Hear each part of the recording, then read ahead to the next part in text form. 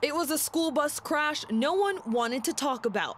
Students were on their way to school this morning when a bus transporting them crashed. The bus collided with a pickup truck and then into a home. The pickup truck was overturned on its side and was significantly damaged.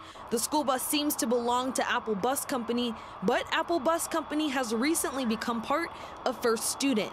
Hi, this is Alyssa Curtis with WWL TV in New Orleans. We I tried calling um, and emailing both companies and have not heard back. Earlier. We also tried to pry information out of NOPD, but didn't get very far. Even finding out which school this bus was headed to was difficult. After calls to the school district, repeated calls to the bus company, and even an in person visit to one school, we finally got something of an answer to that question. The bus was heading to a collegiate academy school.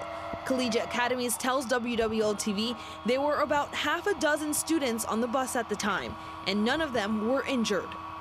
Police say the driver of the truck was taken to the hospital.